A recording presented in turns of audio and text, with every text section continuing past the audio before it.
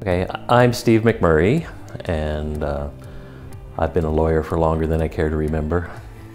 I was a civil litigator for over 20 years. Over time, I came to realize that courts are a fine place to fight over money, but it's a very bad place for families. The best part about collaborative practice is that it is not adversarial.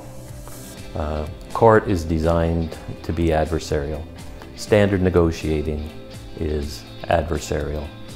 Um, but with collaborative law, uh, negotiations are basically non-confrontational. Uh, there are legitimate differences of opinion, but you can have an informed debate about them and come to a mutually acceptable solution and everybody understands where the other side is coming from instead of just disagreeing.